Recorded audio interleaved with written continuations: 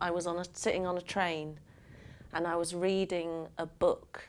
Uh, I was reading Novel on Yellow Paper by Stevie Smith. And I'd only got a few pages into it, but it was that feeling of like, oh no, that's what I'm going to do. but, um, and then I spent several months trying to forget that moment because I thought I didn't know how to do it and I thought it was going to be really difficult.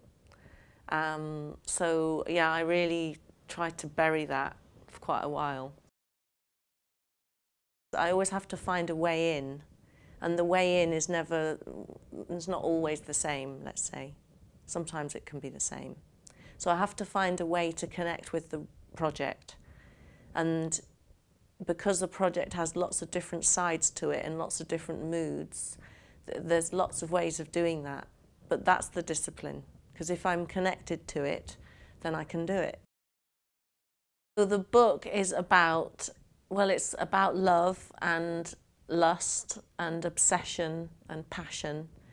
And it's also about memory and authenticity. It's really a lot about authenticity. It's about literature as well. And there's a narrator, the first person narrator is a woman called Rachel, and she's writing this novel 10 years after the events.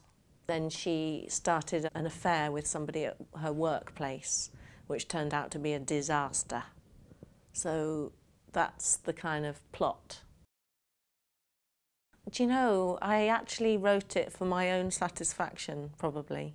I really had to fully accept the idea that it may never get published, and I totally embraced that. So I did it for its own sake, and I wanted it to sound um, how it needed to sound, which isn't very well explained, but I really did get to the point where I thought this is its own project and I, and I just want to do that project. What happens to it afterwards is practically nothing to do with me. I did show it to a couple of people now and again um, and they were very enthusiastic and encouraging, which helped.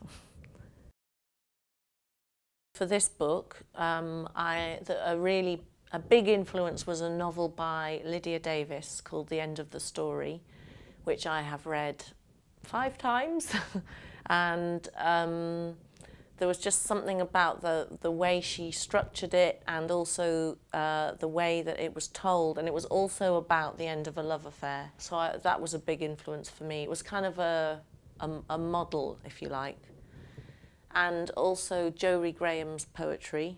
And there were lots of other volumes of poems, a couple of different songs or like CDs that I used to like to listen to. If I had to get into a sad mood, then I'd listen to the Be Good Tanyas.